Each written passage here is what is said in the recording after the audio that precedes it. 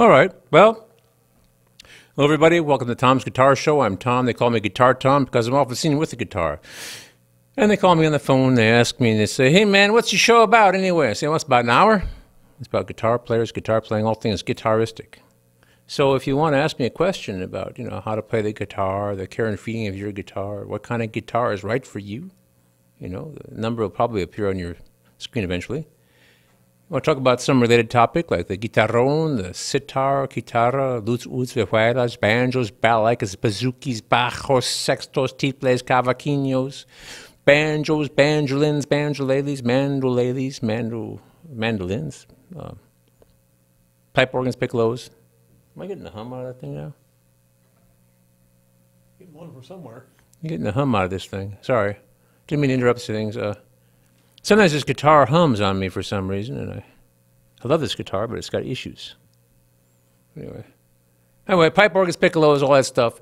Uh, accordions, ocamarinas, uh, uh, uh, accordions, ocarinas, not aquamarinas. I'm sorry, man. I've said this too many times. Uh, politics, world events, per, your own personality problems. It's fine. Call in the show. We're here for you, but keep it clean. This is a family program. Okay. Well, well, tell us what kind of a guitar we see you with tonight. Well, this here is a Taylor. Uh, this is a 714 CE, I think. Let me see. It says inside there. Oh, can't see that far. Um, Anyway, it's a Taylor. yeah. Yeah, 714 CE, which means it's a seven. It's a 700 series. It's a 14, or is it? Or is it a 14 and it's a seven series? It's a cedar top. Has a Fishman blender. Hey. If there is a hum, it's barely noticeable in the control room. Oh, good. So I think it would be okay. Uh, and did we mention B flat, A, and C clarinets? Uh, not, uh, not yet. Okay, well, okay. uh, I guess we'll have to mention those later then. Oh, you just did. Okay, yeah, okay. And we didn't get to zithers yet either. Zithers and xylophones and uh, there's no such there's there's no aardvark. Uh, there's there's no instrument that has two A's in the front of it. I don't think. I- Accordion is the lowest one I can think of. Huh? Accordion. Uh, a, a, a, a, something A B or I didn't bring the Google machine tonight. so Yeah, we'll have- shoot. Have to research that. I could probably find out on my phone, but I think that's in the car, so I, I know. If, if it's Tuesday night, if a shrewd viewer out there has an idea. Yeah. Well, I should look at my uh, musical dictionary and see if there's any instrument that I don't know of. If you're listening to us on Friday, the show's perfected by then. We don't take calls. That's right. Yeah. By that time, it's had a chance to simmer and mellow, like a fine, uh, like a fine cheese, French cheese. Anyway, so yeah, yeah. Uh, well, I did my whole intro. I said politics, world events. You know, we're here for you. Keep it clean. It's a family program. All right. Yeah, this is a, uh Taylor acoustic electric. I'm not exactly sure what year I got this. I think it might be 2002 or 2001, right, right around there. Uh, I don't remember. That was the last time I heard Pierre Bensusan play before he came. I saw I heard him play uh, uh, the spring, I think. It was a cold night, I believe, and I uh, saw him. I hadn't seen him in over in a dozen years or so, and so I. Uh, the last time I saw him play, I was disappointed with my acoustic electric guitars, and so I, I went out and bought this one. It's, very expensive. It's made in California, but you know the thing is, okay, it hums sometimes. Maybe its electronics needs to be, need to be uh, replaced or something. Um, and the guy here won't do it. Maybe I have to send it back to California where it was built or something someday. But the guitar itself is fine. And uh, the thing about like blowing all your money on a guitar, this is my justification, is they last. Well, you've had that one for 12 years. Yeah. And it's been having these ups and downs electronically. I have another one I had, a 12-string guitar I got about the same time. I needed a neck set, which, you know, cost me like almost $200 to do. Take the neck off and put it back on the right because it was, you know, it's a lot of pressure on 12 strings. It's fine. It's darkened with age. Its electronics are fine, but the, you know, the neck had a little problem, but it was easy to fix, relatively easy to fix. And that was, of course, quite expensive, but it was built, you know, in California. And it's a really decent 12-string guitar. So it's lasted. Um, I was also trying to impress upon somebody uh, that's like yesterday, the day before yesterday, I don't know, one, the other day, um, to get a decent instrument, you know, to start with, because I pointed to a guitar that was hanging on the wall that I still play sometimes, and it still plays fine, but uh, we we bought it in. Uh, I was with my, my family. I was a kid uh, in Spain in 1971, and it still plays fine, you know. And of course, I have one hanging on the one wall, built 1930 And another one hanging on another wall, which needs a little bit of work, but it still plays, and it's uh, like 1822, uh, give or take a year or two, but just right, right in there, the early 1820s. Uh, Circa 1822 or 18, you know, the first half of the 1820s. Probably not as old as like 1819, but certainly not built after 1825. So, If, if our viewers want to see a story about a Taylor that couldn't be fixed, Mm-hmm. they can search for United Breaks Guitars on YouTube. that's right. Yeah, he, uh, he did really well. Got two, two free uh, Taylors out of that. Yeah, they smashed up his guitar. It was a nice one, too. From Taylor, nothing from United. Well, United was offered to give him uh, some money, you know, to, to Yeah. take down the video. Touched, yeah. But they, but they said, uh, uh, they he said, well, they were willing to give him like nine hundred dollars or something for, for like a four thousand dollar or three thousand dollar Taylor. And quite honestly, I think these were retail like twenty-seven hundred or something like that for this one. This is not the top of the line. Uh, it has the same quality, just doesn't have all the like mother pearl inlay on it. It's, a- it's the, uh, you know, the more basic model of The this. instrument's the same, it doesn't have Yeah. as much decoration. Right, I mean, it's all solid wood, it's got the fancy electronics, it's just not the um, top of the line. I think his was on top of the line with all the pretty inlays and everything on it. Uh, But uh, he, uh, yeah, so they were gonna give him the very modest, Well, originally, they were gonna give him nothing. yeah, nothing, uh, Told him, good luck with that. yeah. So, When they told him to take his video down, he said, good luck with that. yeah, they offered to give him a bunch of money to take down the video, but at that time he'd been a, a sensation, anyway. And Taylor had replaced his guitar for him. Yeah, twice, apparently. Are good.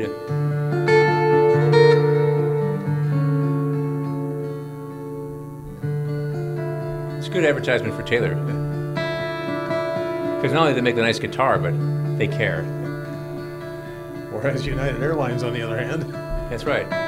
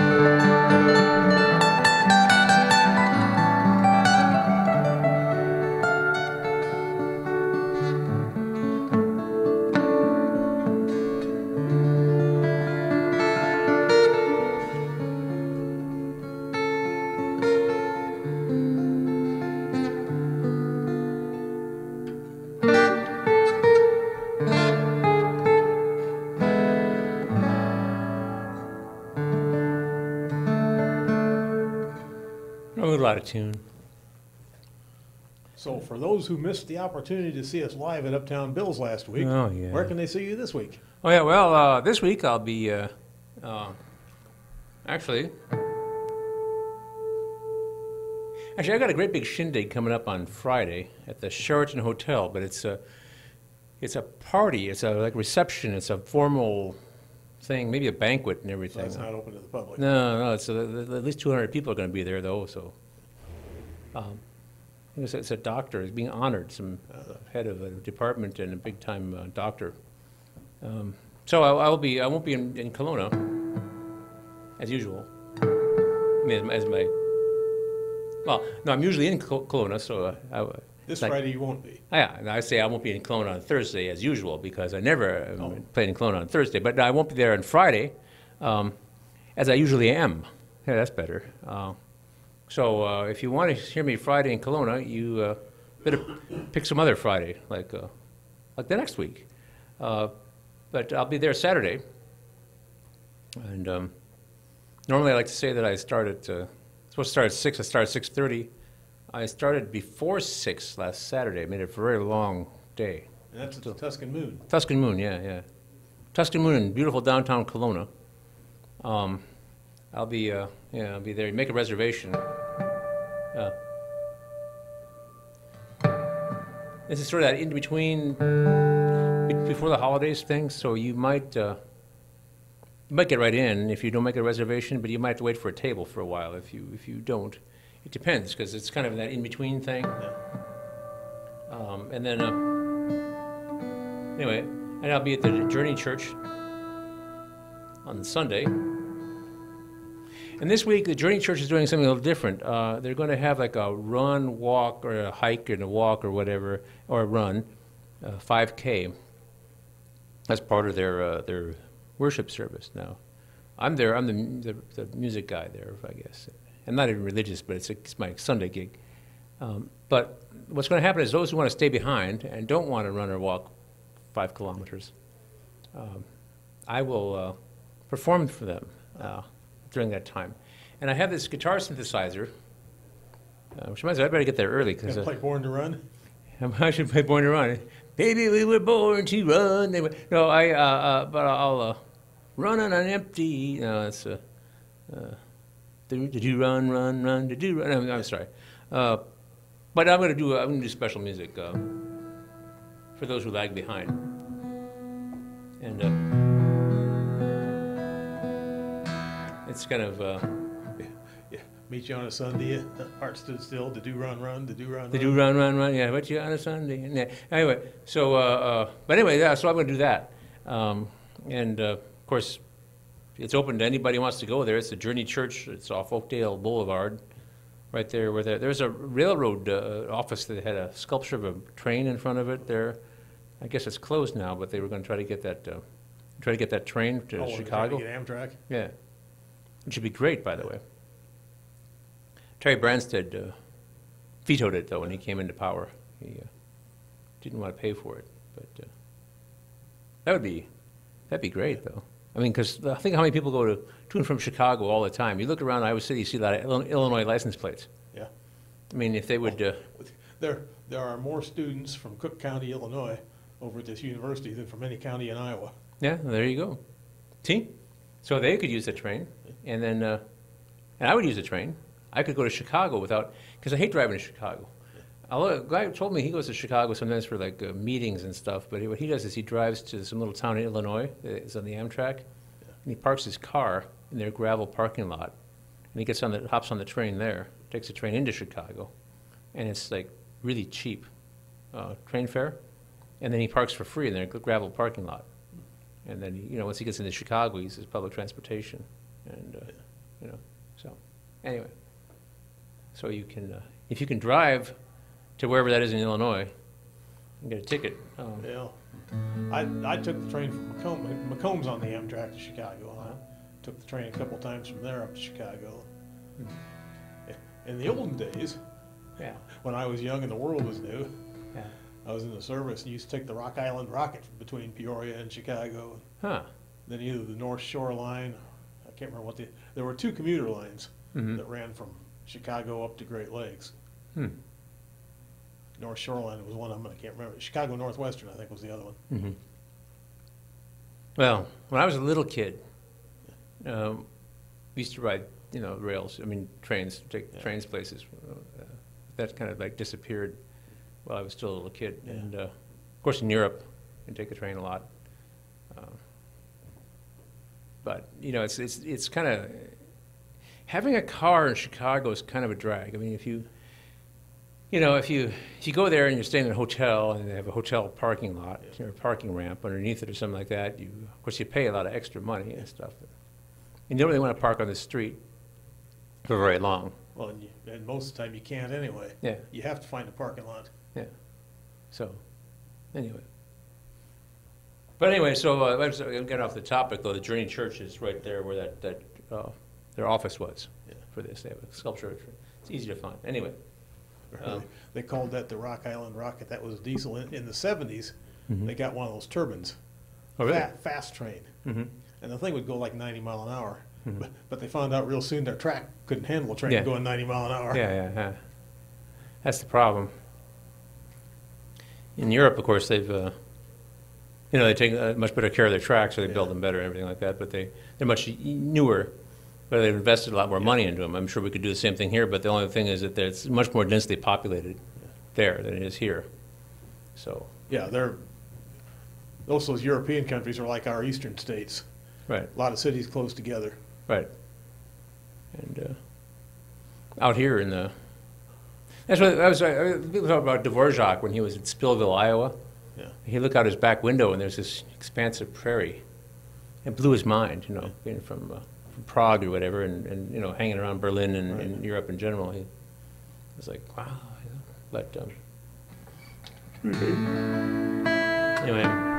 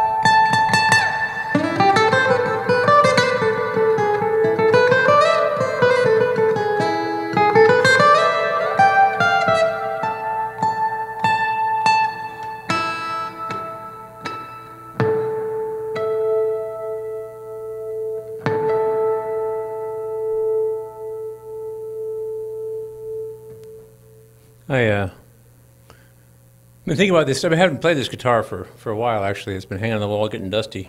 And uh, I have several other steel string guitars that, uh, with pickups in them. And uh, this one, if it's not humming on me or give me trouble, it's probably the best one for playing. I've got a loud one, which is really good, but the pickup thing isn't. Uh, well, it's pretty good, but it's not as good as this. Um, but anyway, the thing is that, uh, you know, I, I normally have been playing nylon string guitars uh, the last few weeks. I have done a lot of messing around with hollow body electric guitars, like jazz guitars, and um, guitars that maybe hollow bodies that are suitable for playing jazz. Maybe they also, you know, are favored by rock and uh, blues musicians. And then, of course, there's always my solid body guitar collection I keep messing with. But uh, but lately I've been doing mostly nylon and then some hollow bodies on the side, you know. Um, and I keep thinking I, I like the sound of a steel string. It's just that it's not really in my ear. It's not really in my head lately. And I so I might be driving back from someplace listening to the radio in the car to like KUNI, the station out of uh, University of Northern Iowa.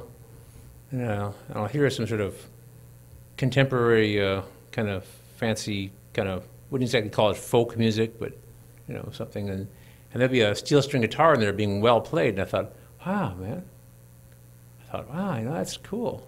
Wait a minute, I can do that better. yeah, I can do that. I don't like to say I can do that better. That's another one. Say I can do that because I can do it better is another punchline for that guitar joke. But uh, so last week I, I, I mentioned a few jokes uh, on the show on that uh, coffee house show, and then that night I went home and uh, and because I had been working on this file, I've been looking around for them on the internets and collecting them, and I uh, I, I started. Uh, I have this collector type of mentality, kind of hoarding type of mentality. So I started collecting We jokes. noticed that with guitars and amps. Yeah, guitars and amps and stuff like that. I have uh, many, many more Guitars and amps or jokes? uh, jokes now, and, and uh, I have no no more guitars and amps than you than you last saw me. In fact, I'm thinking about trading. Uh, one- You've been in remission this week. In remission this week, I'm thinking about actually trading uh, one electric guitar and two amps in and trying to get a tenor guitar, uh, which uh, West Music has actually in stock. Uh, if you don't know, the tenor guitar it's a four-string guitar, tuned like a viola, or as I prefer, Big mandola. ukulele. Well, no, it's, it's not. It's not the ukulele because the ukulele is in fourths. This is in fifths. So it's it looks like an overgrown baritone ukulele with metal strings, but it's actually a tenor guitar. So it's a different animal, because uh, uh, as a tenor, it's tuned like a tenor banjo. So, I, I went, went to the music store and, and uh, I was for I don't forget what I was there for. Probably nothing, no good reason, but um, so the manager came out because they see me coming, they think, oh, there's a live one, you know. And uh, and so he said, well, what do we have that's new around? Oh yeah, and he shows me this uh, this little tenor guitar. And I've never owned one, but I, I, I have a tenor banjo which needs about four hundred dollars of the work, actually. But and I used to play tenor banjo because I had another one that broke. And uh, anyway, it's a long story. It's boring. Okay, actually, all this stuff is really boring. So the guy, he was, uh, you know, he it was tuned properly, but he wasn't uh, sure if it was tuned that way. And he was uh, familiar with like, does it, they tune it like the first four strings of a guitar, which is how a baritone ukulele is tuned? And uh, I said, no, it's tuned in fifths, like a like a viola or a, mando- a mandola, which is more my speed, you know, because I'm more likely to tune a mandola than a viola. So it's like it's like a violin, but everything's a fifth lower. So anyway, also all the fingering is different, but it's the same as man- mandolin fingering, except everything is you know lower. So I mean, but you can use the same fingering, you're just in a different key. A, okay. So I picked the thing up and immediately know how to play it because you know because I played tenor banjo on and off for the last 30 years. So anyway, uh, and that, that sort of got me interested. And uh, and then he was wondering what you know what, the origin of this was, and, and, and uh, also wondering about Irish tuning. And Irish tuning, I don't know if they ever played tenor banjo in, in uh, Ireland or tenor guitar in Ireland, but they played tenor banjo. And the Irish tuning, as they say, is actually like a, a mandolin tuning, only an octave lower. So it's not tuned like a tenor banjo; it's tuned like a uh, like a um, like an octave mandolin, which is something else I happen to know. So, and then, uh, but he wondered what you know where this instrument comes from or what it's you know because it's it's not very it's very rare now, And, and I happen to know that, you see. These are the things that make your eyes glaze over when if you meet me at a party. Well, this is a guitar show. Presumably, if we have an audience out there, there are some guitar nerds. That's right. Well, if you want to know about tenor guitars, and they they sound really cool, they're different. It's a different voice from an ordinary guitar. Um, but in the 1920s, banjos were very, very popular, and they had been popular for you know 50 or, or 80 years before that. But they had reached a sort of pinnacle of uh, popularity at the, at the turn of the century. And then by the 1920s, they were quite popular, and they were the, the jazz, um, the chord. All, all Dixieland bands had a banjo in them. Yeah, they had a banjo, and they and all the jazz bands, and, and the uh, sometimes they called Dixieland, but there's other kinds of jazz too at that time. But they all had like banjos, and then and the, and the playing the bass was usually a tuba. Although sometimes they had like you know bass, double bass saxophones or clarinets playing the the uh, the bass part, but a lot of times it was a tuba. So around about 1926, styles changed, and uh, the uh, the tuba and the banjo were jettisoned from the jazz band in favor of the string bass and the guitar, and they started building guitars bigger and louder. So uh, uh, there are all these banjo players, you know, who mostly play the tenor banjo, uh, and there's also a plectrum banjo, and we can talk about that later. But I, uh, you know, anyway, so you can just if you play the tenor banjo, you can just pick up a tenor guitar, and all the fingerings are the same.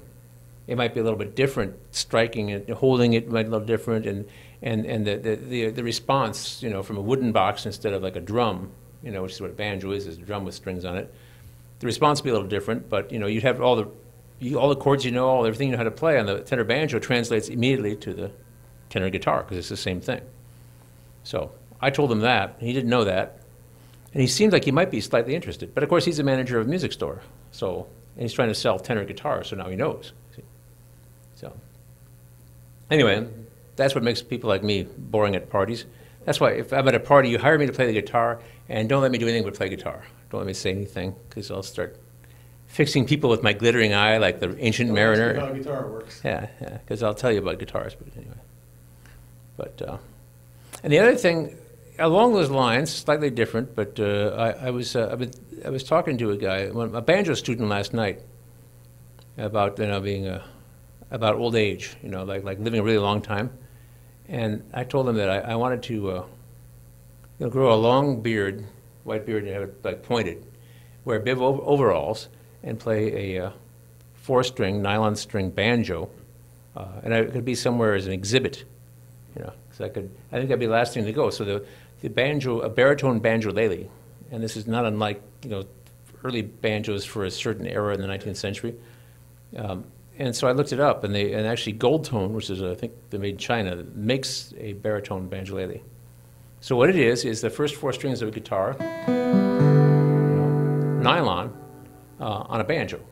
You know, about, you know, smaller than a guitar. But, you know, the size, it's a, it's a baritone ukulele banjo. So it's bigger than a, a, the regular banjolele, which is quite small. But it's, uh, you know, smaller than a guitar. And I was thinking, and the, the neck would be a little bit wider than, than uh, like a banjo, like a tenor banjo neck would be, uh, to accommodate the nylon strings. And I think it'd be very easy to play. Um, and, you know, I, baritone ukulele, uh, which once again is tuned the same as, a, you know, it's like a tenor guitar is tuned like a tenor banjo with a baritone banjolele is tuned like a baritone ukulele.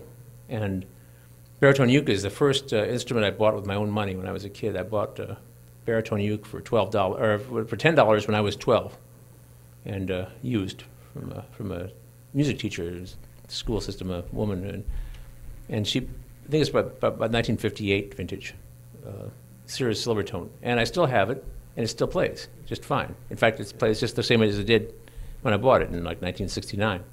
So, you know, I thought, well, you know, if I if I'm really old, I'm starting to go, maybe I can't do all this like.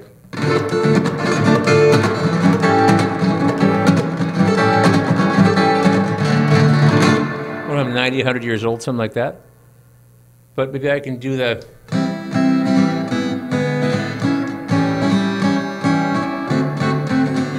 Or, oh my darling, oh my darling, oh my darling sorry Clementine. Or when Shakey's Pizza Parlors used to, I'll have a piano player and a banjo player doing sing-along songs. Yeah. Well, they had a they had a band in the Shakey's Pizza here a long time ago when I was a kid, And I went up and I talked to the, uh, to the young woman, uh, well, she was, she was at least 10, 15 years older than me, but, uh, but she, she played the, uh, the banjo in the, in the group, and I think she played plectrum banjo. I didn't know much about it. I played a little bit of, uh, I started playing five string a little bit when I was 16, and because I had a friend who had one. I used to go over to his house, and uh, I can't remember his name. I keep trying to. I got to look him up because he actually he died uh, like a year later because he's he's older than me, like a year older than me. So uh, when I was a senior in high school, that's when the year that Saigon fell, and uh, and he had joined the military because he graduated from high school, joined the military, and he was killed in a in a helicopter was shot down in the Mayaguez operation, which was like the last battle of the U.S. was in the Vietnam War. They um, I guess the North Vietnamese seized a ship, and then Americans went to seize it back. I don't know exactly what the story was, but it was the last battle of the Vietnam War as far as the U.S. was concerned, and uh, and he was killed in that. And I, I, I keep, I mean, I remember his face, and of course I remember the face of a kid, you know. Uh, and you know, pretty good friends. I used to go over to his house and play guitar with him. And we were sitting there, I was playing guitar, he was playing a banjo. He says, let's, let's switch. I said, I don't know how to play one of these things. It was the only one way you're going to learn. So I picked up the banjo and started playing, tried to play. He showed me a couple things, and I, I figured it out. As a finger picker, I mean, I played classical guitar. That was my main, you know, focus. So, of course, you finger pick a five-string banjo. And so it came kind of naturally to me. I learned a few chords, and then I could sort of play along. I said, wow, I can do this. I, I mean, I had to learn the chords because they're different from the guitar chords, um, different tuning. But um, yeah, but then I, uh, so then I, uh, you know, that's when I started playing banjo, I guess. Uh, but that's five string, which is a different animal altogether. And uh, anyway, so that's my reminiscences, I guess. But uh, anyway, I'd like to get a, a baritone banjolele. Actually, my tenor banjo that I have, I put classical guitar strings on it and had it as a baritone banjolele. Uh, the neck was going on it. Uh, I mean, it needs a neck set. It needs to be kind of taken apart and put back together, so it's going to be a lot of labor. Because the neck is going forward like this, which happens, and that's what happened to my uh, my other one that I had years ago, my tenor banjo. Um, but see, the thing is that, that to get it fixed is probably like, like four hundred dollars, because it'd be like you know, sixty bucks an hour and, and many hours of work, and so that's the estimate. Maybe you know, three fifty or something. But I mean, you know, it's going to be up there. Uh, but when it hanging on the wall as a curiosity, it's free, and uh, It's paid for and not eating anything. yeah, and I loosened the strings down pretty well, so it's not going to you know Yeah. get any worse. So, um, but I mean, I would like to have a, tenor banjo, and I'd like to have a tenor guitar, but I'm really interested in a in a baritone banjolele. I think that'd be kind of fun, and I mean, I could immediately play one. I wouldn't have to. I mean, I know how to play tenor banjo uh, and a tenor guitar, although I get a little confused sometimes. It's like a mental thing, uh, but baritone banjo banjolele, I could pick one up right now, and I would be fluent on it. I would be like getting it for free, you know. It's like, uh, you know, like if you if you uh, if you drive a Chevy, and then you go rent a car and it's a Ford, you know, there's not much in the way of a learning curve. You know, it's like the same thing exactly. I mean, you know. So what? Know, yeah, there's some, I know, for a long time, my wife and I both drove GM cars, so Mhm. everything worked the same, it was in the same place. Mhm. And then she got a Dodge, and everything was backwards. Oh yeah. It's yeah. like going from a PC to a Mac. Yeah, well, going from a PC to a Mac or vice versa is more difficult, I think, than a, you know, a Chevy to a Dodge. I, uh, I mean, I got a car uh, beginning of the summer, and, and it was, uh, you know, so I went from a Honda to a Dodge, and uh, it was a little bit different in some ways, things I didn't quite understand. It took like well over a day to really familiarize myself with it, and uh, you know, Well, it's like when, when we go away, we, we go in her car, and when we come back, I get in mine and try to shift gears with the yeah. windshield washer. Yeah, right. Well, that's that's that's the problem, yeah. And I still do that. And things. I had a Plymouth for for ten years. I had a Plymouth Neon, and in order to pop the trunk, I had to reach down the seat and grab a, a little lever. Yeah. You know, and uh, but now it's a button under the dashboard. So sometimes I'll still reach down for that, that, uh, that lever. The things I sold that car in 2008, you know. So, I mean, I'm, I'm having this flashback. Senior moments. Well, the thing is, there's a lot of stuff in my mind, right? And, uh, and, and I'm very interested in the way the brain works in any, in any case, you know, because I'm trying to get, you know, much bang for the buck with this poor thing here I have.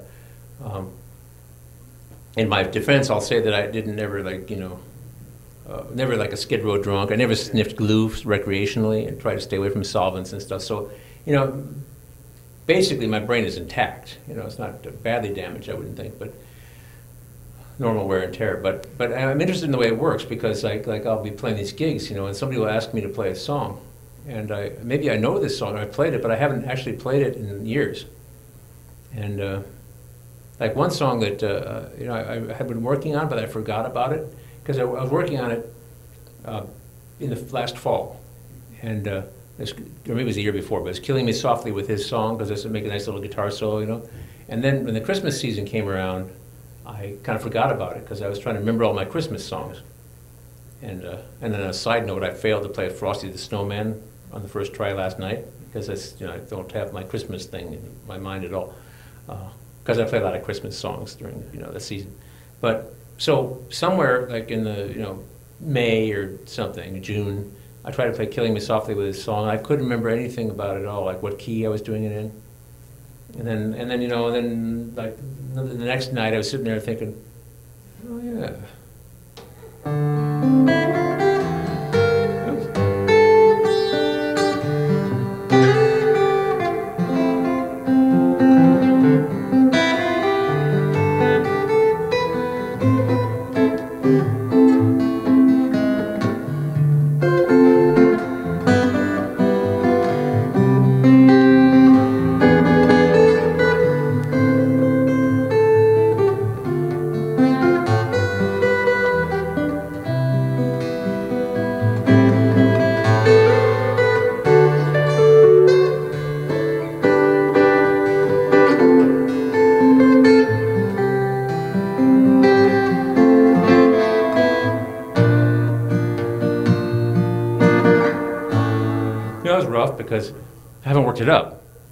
Remembered it.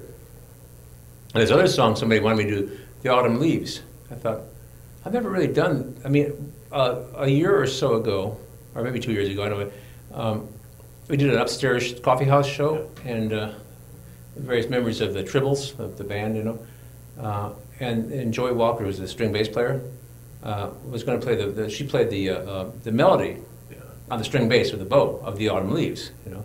So, so I'm sitting there, you know, doing this gig, and it's been like, you know, a year or so, or maybe two years. I can't remember what, when that was. I think it was in the fall though, because it was in the autumn. Um, and I played the chords to it, but I, so I'm sitting there. But see, this is this is my was my second gig on Saturday, and I, you know, my first gig, I played at a wedding uh, for a wedding, so I played you know, processional, meditation, recessional, and everything. I played the prelude music and the postlude music, and the prelude it was a little delayed, so I played you know for 45, 50 minutes or something like that before it, and. Uh, so I did, and then I went and played the gig, and I started the gig early, so I, I started like 45 minutes earlier than I usually do. So I started like quarter to six, and I played till 9:30. So somewhere about you know, I don't know, nine o'clock or something like that. Somebody wants me to play the Autumn Leaves. By the time I'm like, you know, I'm, I'm gone mentally. But you see, the thing is, I can play guitar as long as I don't try to speak or think about anything. You know, I mean, somebody asked me what I want for dinner. That's a difficult question. But I was thinking like, uh, like.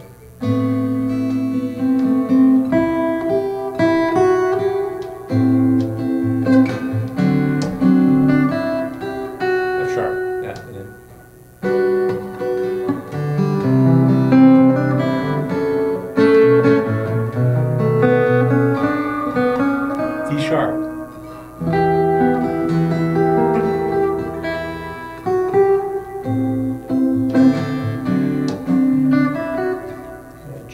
1977.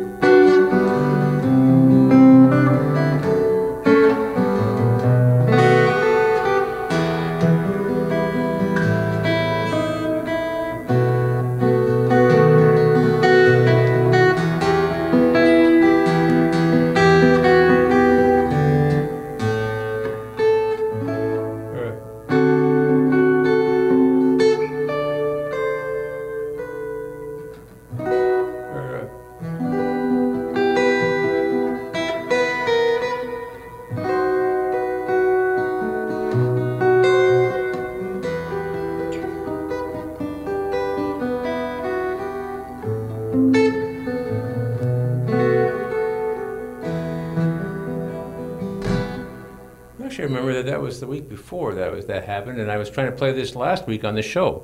I did about as good a job as I, I should sit down and practice it. Yeah, you gotta come to rehearsal one of these times. Yeah, I should, I suppose, yeah. Anyway, I'm just fooling around with this guitar.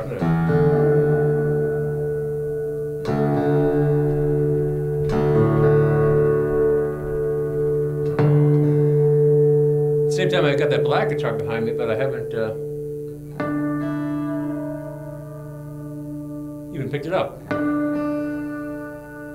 I'll be back next week, I can, you know, Bring black guitar then. I suppose.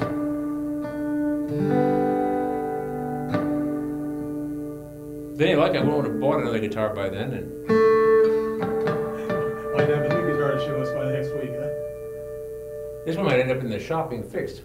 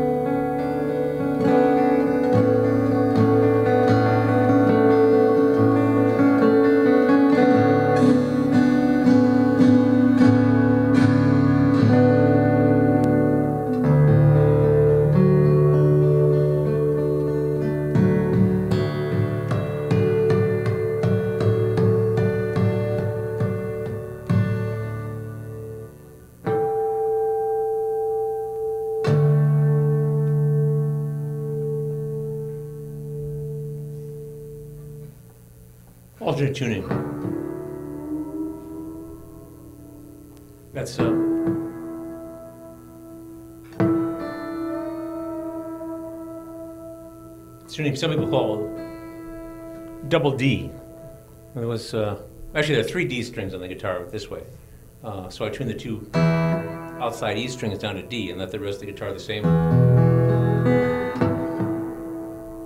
And, uh,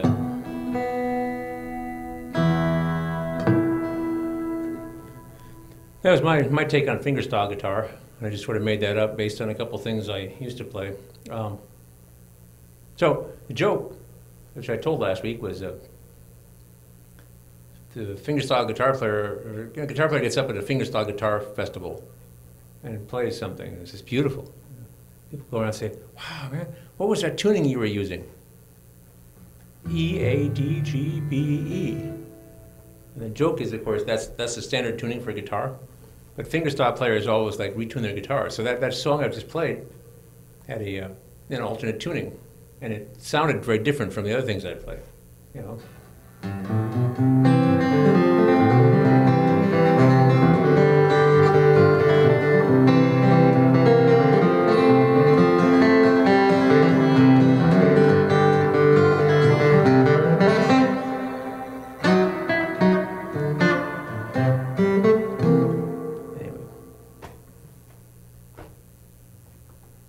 Anyway. We were talking about that in the show last week. I was still thinking about this subject. Is is jokes that they're funny if you you know if you know something about the subject. Inside jokes. Right. Like the like a Zen master goes up to the hot dog stand and says, "Make me one with everything." Because you know that's Yeah. Nam-myoho Renge Kyo. I mean, that's it. Make I want to be one with everything. So that's a joke. That's the best joke I know. Um, anyway. So, I mean, I guess I know a lot of jokes, but I mean, there are a lot of them. You know, what do you call a guitar player who breaks up with his girlfriend? Homeless. That's right, of course. Yeah. And, uh, there, there are some really stupid ones. You know, you tell. How can you tell if the stage is level? Well, the drummer has drool coming out of both sides of his mouth. You know? But I, I don't think I like drool jokes that much. Like, like you helped me out with that one banjo player joke. What the banjo player get on his IQ test? Barbecue sauce. Exactly. You see what I mean? That's a good joke. Because there's sort of there's a home there's a homey thing about that. You know, you could really imagine a banjo player having barbecue sauce on, you know, on his fingers and stuff. Anyway, um, but you know, the one I've told this joke, nobody. Uh, I've told all them all these students of mine, and uh, I'm going to try to. I'm going to tell it to. A, I'm about to go about to Co again next week. If I see another faculty member up in the, in the hall, I'm going to tell them this joke and see if they get it. Uh, but it's the uh, um, so a guy is a banjo player, or no, he's a bluegrass guitar player. Excuse me, bluegrass guitar player. Uh, he wants to uh, take his music more seriously, so he tries to enroll in a conservatory. They give him a little quiz and say, "What is a subdominant of C?" And he stands there looking blank. They said, "Don't you know what a subdominant is?" He said, "Well, yeah, but I thought it was C." Yeah.